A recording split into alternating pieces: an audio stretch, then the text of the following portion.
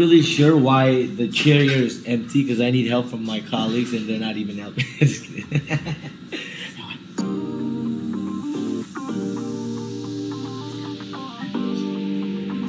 The most, um, some of the most common pollution here in the Marshall Islands, especially around Majuro, um, according to our research and what we got from our trip uh, down to the bowling alley at Woonagani at Easy Price mark. Uh, one common pollution would be littering. Uh, we saw a lot of trash um, lying everywhere on the ground uh, with trash bins.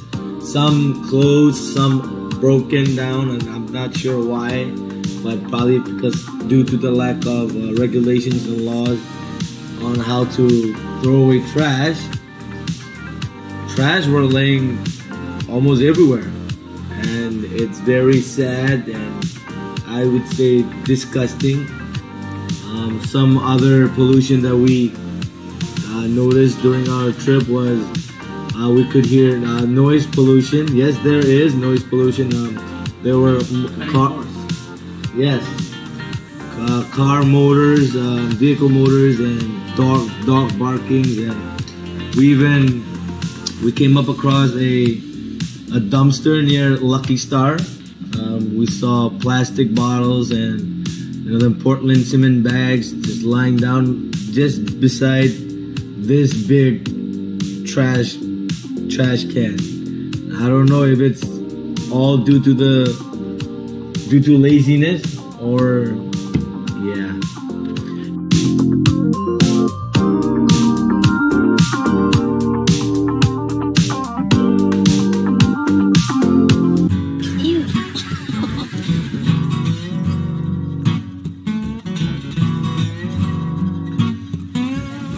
So one that is very prevalent would be littering, right? Yes. What again?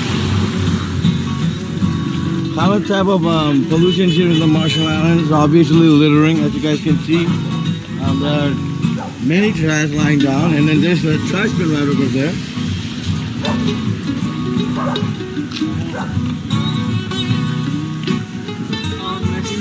Also, um, noise pollution also plays with uh, motor vehicles and dogs barking. That's also a noise pollution. That's right. And hey,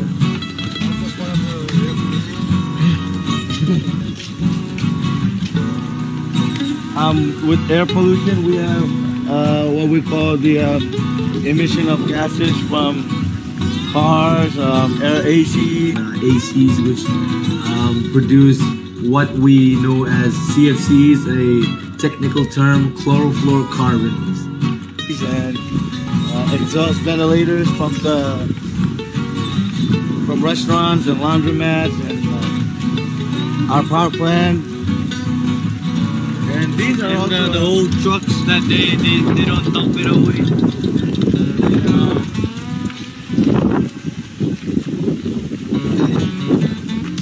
Yeah, I'm gonna give it to the others. Oh, and one uh, smell pollution um, that falls under large livestock livestock farms. Uh, we wouldn't, we couldn't uh, see the livestock livestock farm, but we did notice the scent of pigs cages um, somewhere on the back of the bowling alley, and uh, one of the clips that will be shown to you guys, I mentioned that it's very, the scent was strong, and sadly you guys couldn't smell it. But yeah, we did so. We some of us had to close their nose and close their eyes and open their ears and walk. Yes, thank you for your time, and I hope next time you learn a lot from yours. 100%. Don't forget to channel the welcome. Hey, Louis Aram into the sources and causes of behaviorism.